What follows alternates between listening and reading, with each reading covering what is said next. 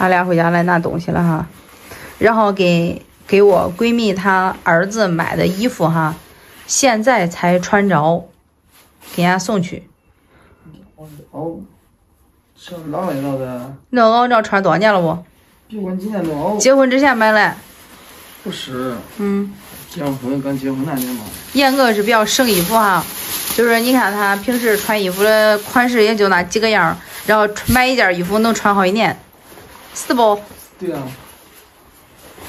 因为身材一直没变化。你呀，坐那叠住。我你穿哪个呀？我老穿那个，你知道吧？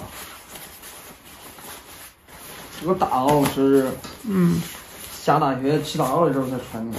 吃大袄。嗯。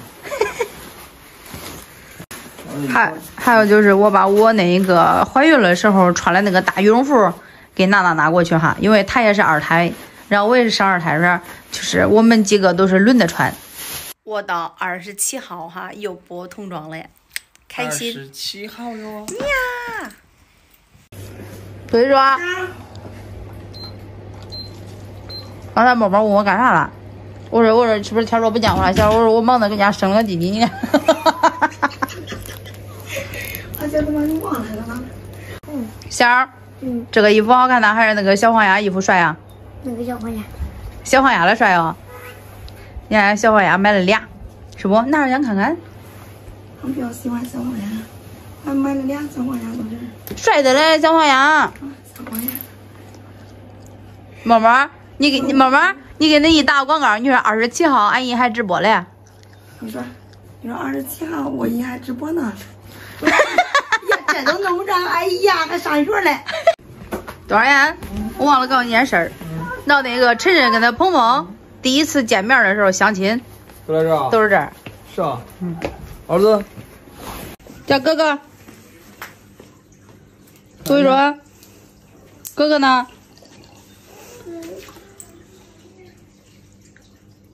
我相机，他自己在上面不要紧吗？你给弟弟拿相机你来。他不要，他太小了。你给弟弟一盒呀？弟弟不要，弟弟不要。拿来拿来，我拿，常伟拿。拿来，要是你不吃。俺不。你别把我拍上了。你 不就拍你。